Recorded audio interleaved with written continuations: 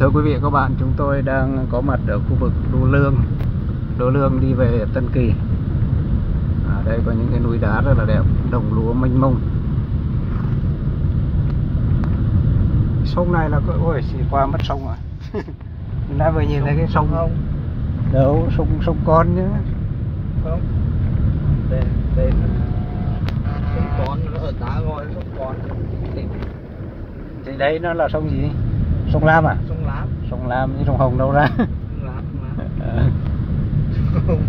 Sông Hồng. Hà Nội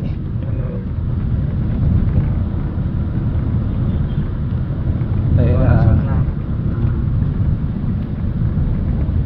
đoạn, đoạn này nó cũng ờ, bắt đầu hết hết khu vực của thị trấn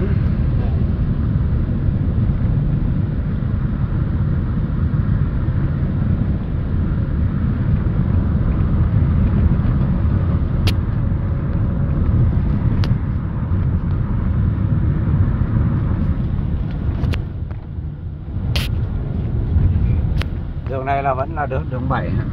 dạ nó không đường này quốc lộ 15 mà Ủa, ở đây là 15 rồi hả? dạ đường bảy nó đi cái đường À đường 7 đi đường Anh Sơn. Anh Sơn đường À, à, à. Để đường 15 hả đây đường 15A.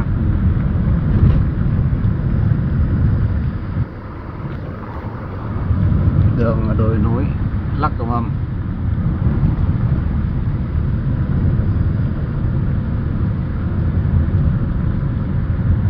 đường đường đường này là đường đẹp đấy đường làm lại Ngày xưa đi cái khu vực này bụi bay mù mịt.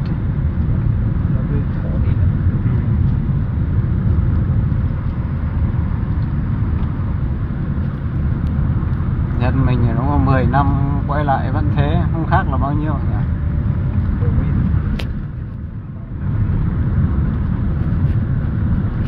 Dân dân, dân, dân vẫn nghèo như xưa lúa sắp đến mùa thu hoạch rồi sắp đến chắc cái này khoảng hai chục ngày hay một tháng nữa.